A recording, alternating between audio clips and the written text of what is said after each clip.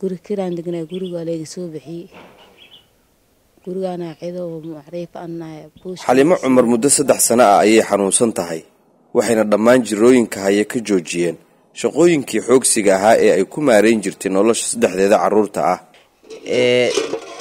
Dabcan digsigan sidaad u jeedaan waa eber waxaana in wax lagu kariyo ugu dambeysay xalay xalay maxaa cunteen bariis yaa kariyey ani haye marka bariiskaas xaggee ka hesheen?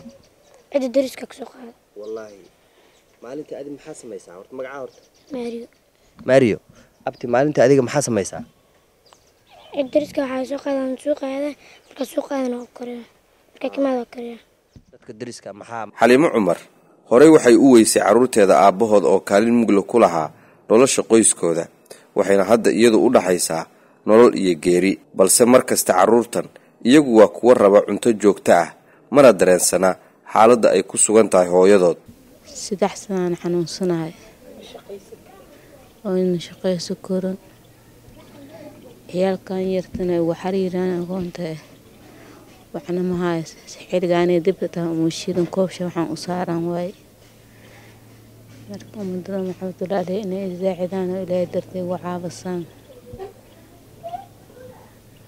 aan u baahanay oo ilaah anigana caafimaad alahay siyo faataxa la ii soo maro dariska oo culayska haysta qoyskan la qaybsanaya ayaa lambarka hooyadan geeyey masaajidka si maalmaha jimcaha oo ay dadka xaafadda wada joogaan loogu qaaraamo.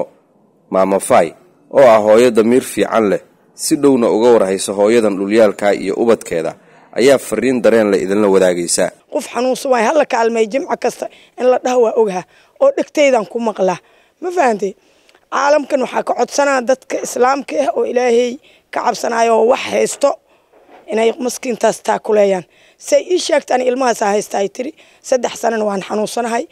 Ani iyadaa lugteeda iigu imaatay oo faayay ii raadiyay tiri wax meel kaalma aan ka helay